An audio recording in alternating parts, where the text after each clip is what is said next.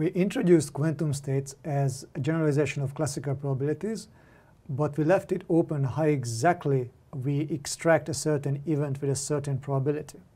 So to formalize this, we have to introduce measurements. But before we introduce measurements, first we have to introduce a bit more of the notation.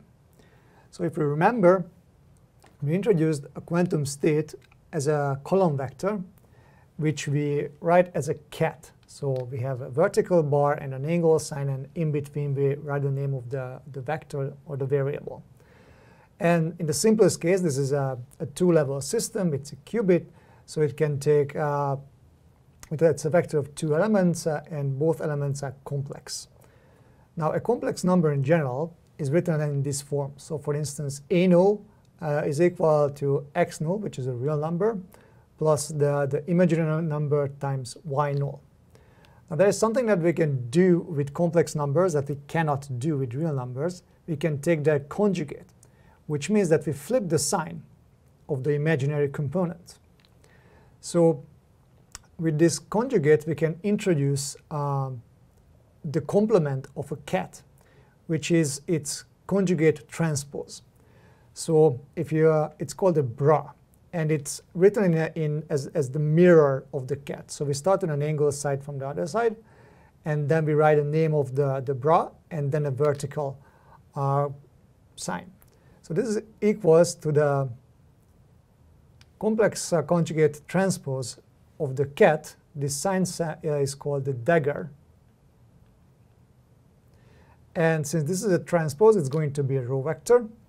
And each of the complex components is going to take its complex conjugate.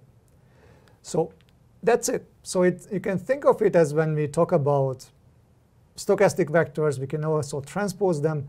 But since we talk about real numbers in the case of stochastic vectors, this complex component doesn't make any sense. Whereas here, we, we have to take care that we uh, deal with complex numbers and there's something to get out of this. So for instance, with this notation, it's very easy to write dot products. So for instance, if we take the bra of some arbitrary state, psi, and we uh, follow it up by a ket, that's going to be the product of a row vector with a column vector. In other words, it's going to be a dot product. So it expands as uh, a null, uh, the absolute value of a null squared plus the absolute value of a1 squared. And we know that since the vector is normalized, this is just 1. So this is just one particular way of writing the 2 norm, well, the square of the 2 norm of the quantum state. And for instance, if we look at um, the 0 ket and its dot product with the 1 ket, then what we are going to do is we take this row vector, multiply it by this column vector, and that's going to be 0. And it's not surprising because the dot product of orthogonal, orthogonal vectors is always 0. So what if, what if we take the other order? So we take the ket and the bra. So you see this is a bra, this is a ket, which gives you a scalar. But if you take a ket and a bra, which we also write in this form, which is just easier to write, this is not going to be a scalar. This is going to be a matrix. So in this case, we are multiplying this column vector with this vector, which is going to give you this matrix. So the order makes a big difference. If you take a ket and a bra, that gives you a matrix. But if you take a bra and a ket, that gives you a scalar value. And as a matter of fact, if you look at this carefully, this is nothing else but the projection to this particular basis vector. So armed with this knowledge, we can start talking about measurements.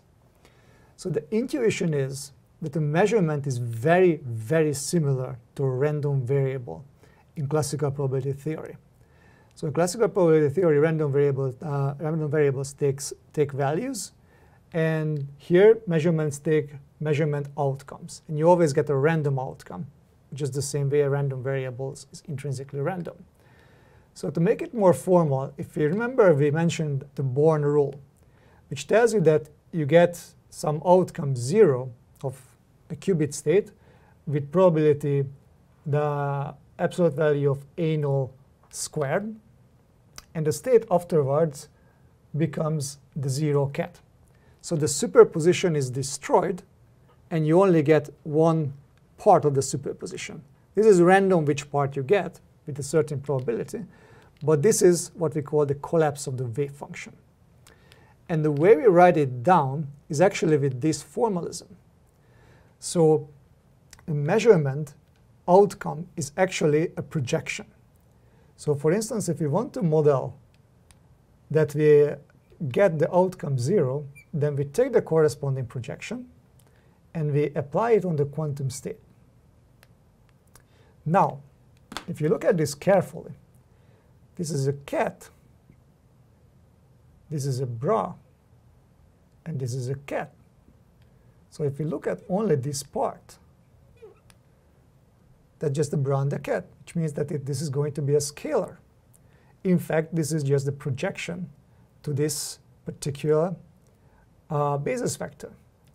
So this is going to be the 0 ket times A null. And if we take the absolute value, we take the length of this vector, that's going to be exactly this vector. So if we take the, the length of A null times the 0 ket squared, that's going to give you exactly what the Born rule tells you. And now if you look at this expression, and you look at this expression, you know that you can write the square of the 2 norm in this form. So we can actually write this.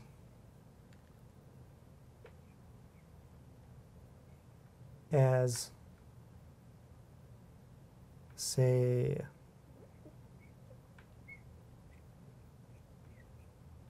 this. So in other words, you can also look at it as an expectation value of this outcome. And the state afterwards is basically this state just renormalized, which means that if we look at what we get, this is going to be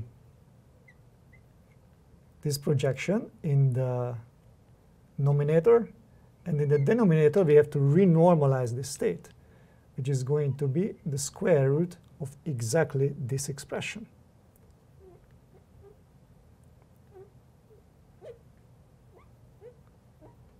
This is the mathematical way of describing how you, how you pull out samples from a quantum state, in other words, how you apply measurements to this particular probability distribution.